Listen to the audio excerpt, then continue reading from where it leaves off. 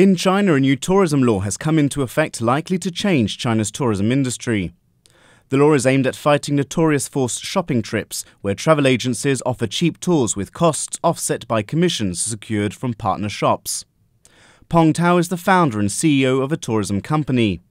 He's now leaving for Mount Kilimanjaro in Tanzania to test out the destination for his customers, and he wants no hidden surprises.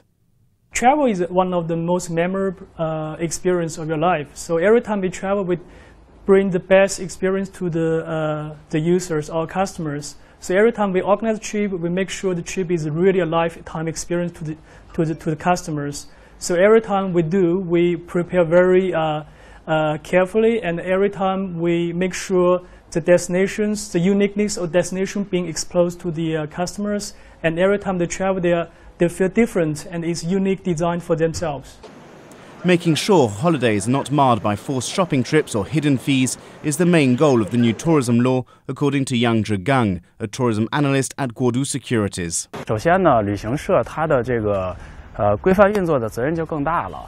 呃，比如说有一条呢，就是呃，因为地接社的原因给这个游客造成了这个财产和人身上的损失的时候呢，啊，那么 呃，游客可以呃先向这个组团社去要求追偿。But this new law comes at a time when more and more Chinese are deciding to travel on their own or with small groups of friends rather than with large organized tours.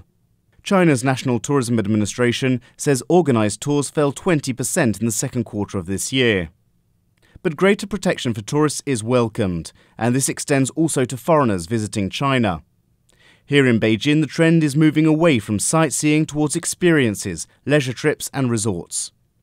The Hutong is one of these places. Located in the ancient streets of Old Beijing, it offers a unique insight into Chinese culture by teaching visitors local cooking skills. Cooking programs really allow people to enter the everyday lives of Chinese people what we do at the Hutong is really um, teach home cooking and things that people would actually prepare, um, you know, for their families or their friends. It's you know, we our chefs are are really they, they learn cooking from their mothers and their families, and that's what we're really trying to um, exude to our clients. And I think people really think this is a special a special way to um, immerse in the Chinese culture. And with more on offer to satisfy every taste, Beijing's tourism efforts appear to be bearing fruit.